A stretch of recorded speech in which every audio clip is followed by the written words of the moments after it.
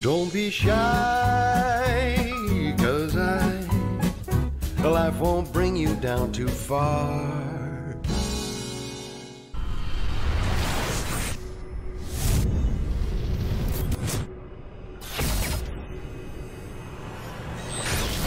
This is Kugan Cassius for IFL TV in association with MTK Global. We're at Fight Camp, week one, fight four. New British champion James Tennyson. How do you feel right now? Over the moon, absolutely buzzing. You know, um, had a great fight there with Gavin Gwynne. You know, it's a shame that we couldn't have had a crowd in to back it up because you know it was a great scrap.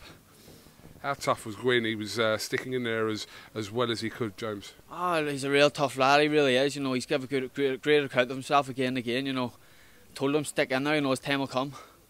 Talk to me about the finish because uh, it was a, relentless finish from yourself.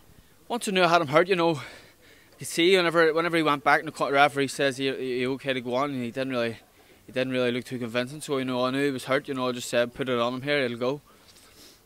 Eddie Hearn in uh, your interview, with Sky mentioned some names, uh, quite notably Jorge Linares, and I see your kind of your face light up when he mentioned Linares.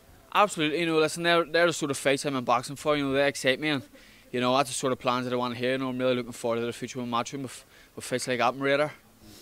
Did Gwynne fight as though uh, how you expected him to fight?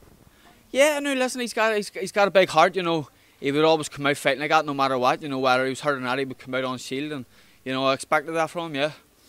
Obviously, you spoke about uh, what it meant to you to, to win that British title. Now you've won it. How does it feel to, to be British champion? Absolutely amazing. You know, listen, I've got a full deck. I've won every title on the way now, so just need to just need to secure a world title next time. You know, we're we're we're rocking it seemed obviously watching it, it looked spectacular, but there is kind of a the no crowd element is a little bit of a weird element to it. How did it feel being in the ring, being in a fight like that, but without the noise? It was different. It really it was it was different. But see, to be honest, hats off the matchroom. You know, they've really pulled off an amazing event for being with no crowd. You know, they've really they pulled out all the stops and listen, it was good. I've enjoyed my experience to be honest. What's the plans for you at the moment now then? Um, take it easy, go home, spend a bit of time with my son, and eat a bit of junk. And then when when the time's right, I'm sure you'll be uh, on the phone to her, or your your manager will be on the phone to her and chasing up that Linares fight, surely. Absolutely. You know, listen, we'll have a wee break and we'll we'll be ready to go again. Anything else you'd like to add before we finish, uh, James? Um, I'd like to give a shout out to the mechanics down Monaghan who helped me out through sparring throughout my camp. And I'd like to dedicate this win to Mark Prendergast, Big Panther, and all the Prendergast family at home.